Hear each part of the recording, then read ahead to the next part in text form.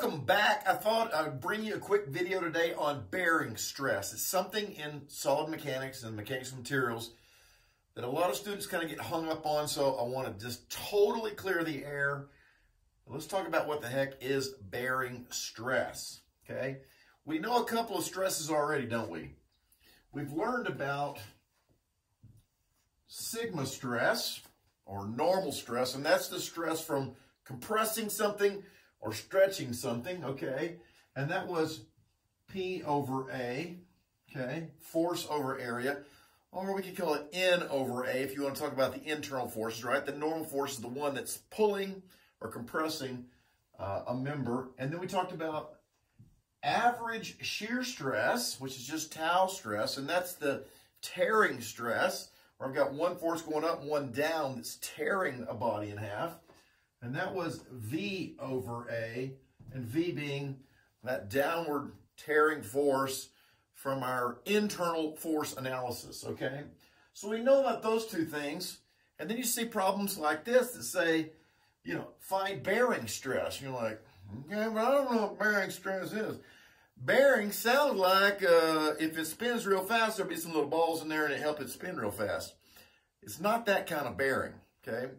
Think about bearing is like, if I'm bearing on you, what does that mean, right? If I'm bearing on something, that means that I'm imparting a force on something over some area. So, you know, where, how much area is something pressing on something else? Well, if something is pressing on something, if I'm bearing on something, what is bearing stress? It sounds like a compressive stress, right? I'm just bearing on the wall here. Uh, that means that mm, there's a force over some area. I mean, it kind of sounds like that, doesn't it? Because this, sigma stress, is a compressive stress, right? So really, truly, bearing stress is another kind of just plain old normal stress, okay? It is just a force over an area. And typically, where do we see this? We see this on a bolt we got a bolt going through a piece of lumber, right? Here's a bolt one, and, and you have the head of the bolt. Well, if I tighten the nut up too much, what happens? I kind of pull the head of the bolt down into the wood, right? So how do I, in, you know, reduce that pulling the head into the wood? You put a washer under it, right? And that washer has a big bearing surface. It has a bigger area than the head does, and it keeps that from compressing. And so there is a bearing stress between the contact area of the washer and the wood that it's going through, okay? So that's what bearing stress is. Bearing stress is just, okay, it's just um, sigma stress, okay? And the whole key to that is, the hardest part of this is, what is the area, right? Well, that's just the area that one object is bearing on another. If, if, you know, if I'm pushing on one object, how much area is in contact with you? That's bearing stress. Let's work an example if we make sense of this, okay? Ooh. Okay, so we've got a post here that has some kind of a bar on it, okay? Uh, it has a force P on one end, and it has, ooh, what does that look like over there? Come on, statics party people, what is that? That's a two-force member, right? That's a two-force member. Because it's pin connected at both ends, no force in the middle. Remember that guy? Okay, and so at the heart of this problem, the very first step is we got a statics problem in front of us, okay? Now, how big is P? I didn't tell you how big P is. How big do you want P to be? Let's make P mm, 250 newtons, okay? All right, so it's 250 newtons. So step one right? Let's read, well, step one, read the problem, okay?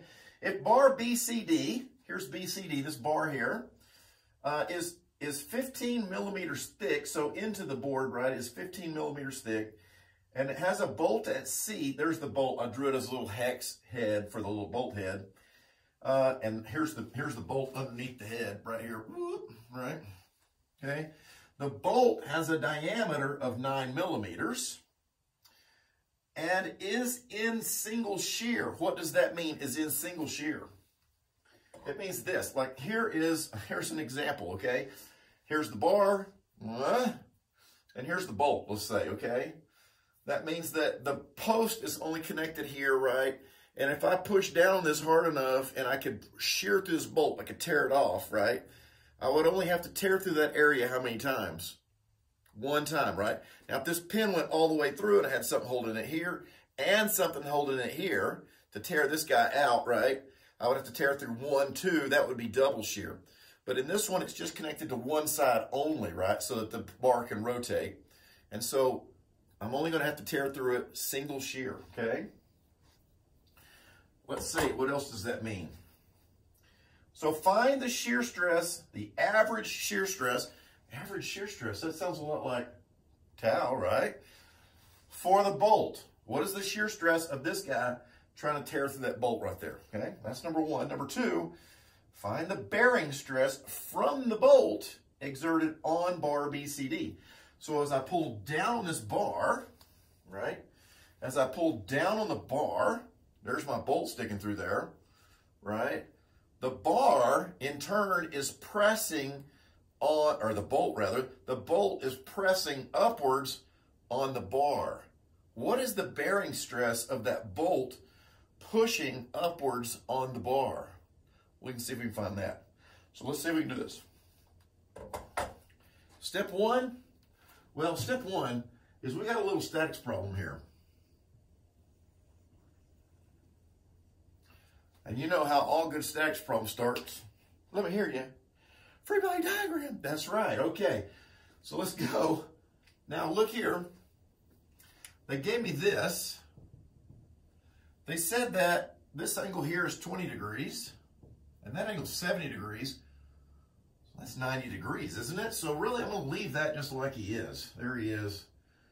250 degrees. No. Newtons at 90 degrees, okay? Here is a pin connection in the middle where C is where that bolt is, is a pin connection, right? Because it can pivot there. Uh, what's the reaction for a pin connection? Well, um, it's CX and CY, right? I'm going to do that. Well, yeah, mm, you know, I'm not. If that's okay with you, I'm not going to do that. I think I'm going to, I think I'm going to tilt my coordinate system and I'm just going to make this my new X direction, especially since those dimensions are tilted. And I'm going to make this my new Y direction, right? And so I think I'm going to do this. I'm going to call that CY, and I'll call this guy CX. Is that okay? And then I have this guy over here at the end, two force member, right? So I know that my force is there, right? From uh, AB, AB, fabulous, okay? Now I want to do the same thing. I want to break this guy up into two components, one here and one there, okay? Ooh, I did that right, didn't I? If this guy goes to the that way, that guy has to go to the that way, right? Now they're giving me that the what did they give me here? Oh, we. What is this angle right there? What is that angle? What do you think? Because here's where I am. This is 20. This is 70, which means this angle here must be 20, right? So from here to here must be what? 50 degrees, right? Yes? Yeah, I can hear you over there saying yes. So this is going to be FAB cosine of 50, and this is going to be FAB sine of 50. Man, if I could just get my students and you guys just to draw good free body diagrams, the world would be a better place. Okay, fine. Let's find FAB. Let's do that by taking the moment at point C. Okay, so if I take the moment at C, what's going to happen here? Now, this is a statics review. We should be good at this, right? You got 250 that rotates me. What is that? How about negative? Minus 250 times how far away? Uh, right here. Which, how far is that? 500. Okay. And then I got this guy. Watcha, watcha, watcha. He's a cha-cha force, right? He gets knocked out. Of course, CX and CY is knocked out because I took the moment at point C. So that leaves this guy, which rotates me positive. So plus FAB cos 50 times how far away? Well, times this. If the force is in the Y, then the distance is in the X. Okay, so times 800. So from that little equation, move that to the other side. FAB is equal to, calculator, where are you? Here we go. 250 times a 500 divided by the cosine of 50, and then take that and divide it by 800. 800 equals 243. Okay? So FAB is 243 newtons. Well, that's fabulous, FAB, but you got nothing to do with what's going on at point C, where that bolt is. And that's really what all this question is about, is what's going on at the bolt. So how do I find the forces on the bolt? Well, that's C1 and CX, right? I need those two guys. How about this? Sum of the forces in the X, I bet that's going to get CX, isn't it? Equals CX minus this guy minus FAB. I know you. 243 sine of 50. Okay. Anything else in the x direction? No, looks like it. So therefore CX is equal to 243 times the sine of 50. 186.21. Okay, there's CX. Let's get CY. Sum of the force in the y direction. And what do I have in the y direction? I got CY going uphill, CY. 250 going downhill, minus 250. And then minus, this guy's going downhill, FAB cos 50, which is 243 cos 50. Well, that's not how you make a zero. Zero, okay? So move all that to the other side, CY is equal to what?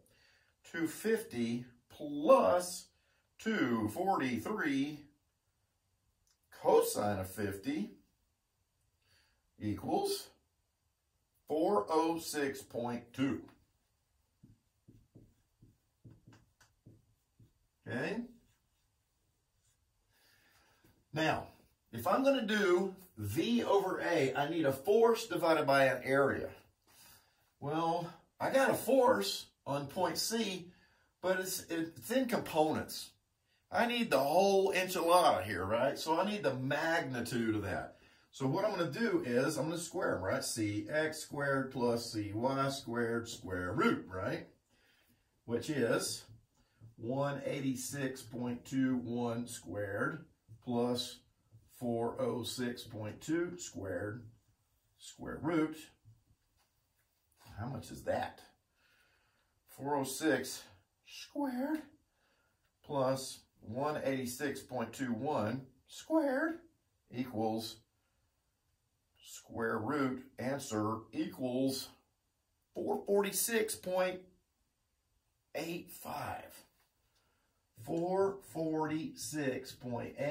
446.85 newtons That is the magnitude of the force acting on the pin at C. Okay? So the bolt, or the bar rather, is pushing on the pin, trying to tear it in half with a magnitude of 446.85.